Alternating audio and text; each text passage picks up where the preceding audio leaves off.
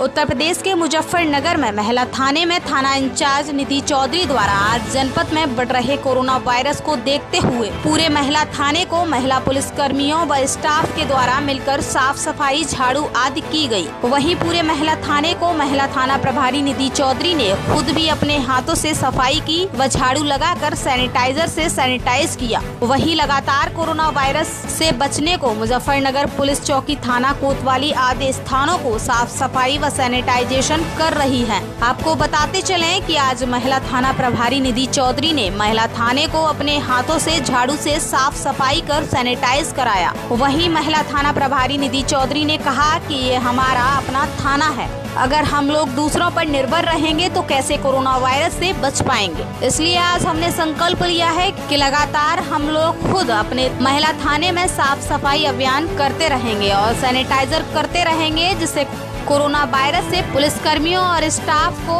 व आने वाले लोगों को कोरोना वायरस से बचाया जा सके।